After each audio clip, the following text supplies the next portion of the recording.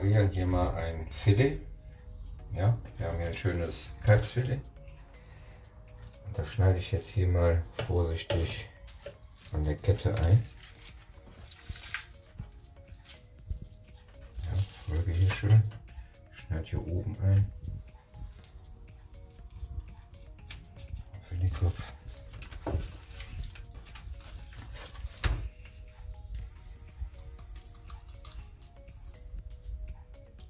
Jetzt hier das dicke Fett raus. Das braucht ihr nicht wegzuschmeißen.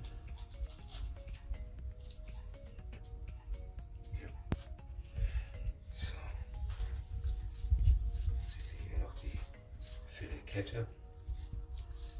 ich jetzt hier ab. Man kann jetzt hier die restliche Haut vom Filet abziehen. Auch an der Seite. Auch hier restliche dicke Fett. Nehme ich mir jetzt hier ein bisschen, bisschen raus. Auch hier an die Seite. Das gleiche an der anderen, an der anderen Seite. Ja, wie gesagt, nicht wegschmeißen, das kernige Fett. Das schneide ich jetzt direkt hier klein. Und das werde ich mir gleich schön in der Pfanne auslassen und unsere Filetsteaks da dran braten. Ja, und jetzt müssen wir eigentlich nur noch hier kleine Sehnchen, Häutchen, Silberhäutchen abziehen. Dazu einfach mit dem Messer unter die Haut fahren. Und schön vorsichtig abziehen bis wir die Haut entfernt haben. Jetzt geht die hier noch so ein bisschen rein. Da können wir auch noch mal nachgehen. Und dann haben wir das Filet eigentlich schon variiert. Ja, wir können jetzt auf der Innenseite noch mal gucken. Hier vielleicht noch ein bisschen noch das Fett mit weg. Auch noch eine Seite. Dann haben wir das Filet eigentlich schon grob pariert. Das bisschen Fett hier kann ruhig dran bleiben. Ihr wisst ja, Fett ist not bad, Fett ist ein Geschmacksträger. Ja. Und äh, ja, jetzt können wir hier eigentlich schon losportionieren. Der Filetkopf, ihr seht, hier sind noch zwei, zwei kleine Läppchen anhaftend.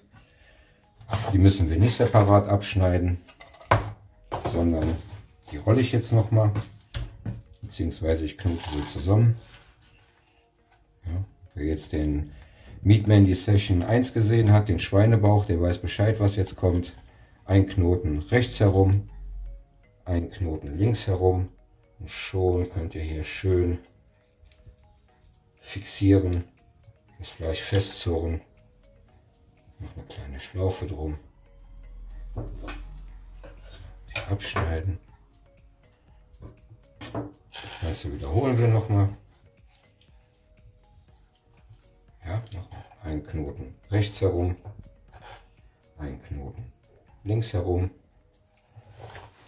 Schon könnt ihr hier schön kräftig das Fleisch zusammenzurren, Schlaufe rein, abschneiden. So, und jetzt kann ich das Filet hier richtig schön, richtig schöne Steaks schneiden hier. Herrlich. Ohne viel Abschnitte kann ich jetzt hier richtig schön durchportionieren. Habe jetzt hier richtig schön vier Steaks auf Niveau. Ja, könnt jetzt hier noch eins abschneiden, aber ähm, ich lasse mir hier die Spitze übrig. Die könnt ihr jetzt zum Beispiel in ganzen garen, aber ich schneide mir jetzt hier direkt ein geschnetzeltes, weil ich morgen ein Züricher geschnetzeltes machen möchte. Und dazu schneide ich mir jetzt hier schöne Streifen. Seite. Ich werde gleich schon mal ein bisschen schön vormarinieren. So, dann haben wir das auch verarbeitet. Die Steaks tue ich mal an der Seite. So, die Filetkette, die wir von abgezogen haben, seht ihr ja hier.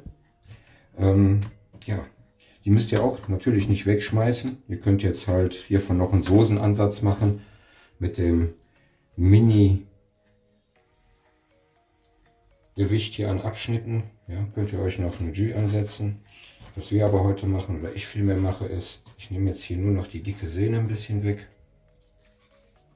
Ja, jetzt gehe ich auch da drunter, schneide die vorsichtig ab.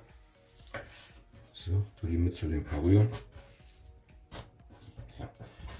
Und dann will ich mir hier noch einen schönen Spieß von machen. Wird das Fleisch hier schön, ich sag mal, schlangenförmig aufspießen. Ja.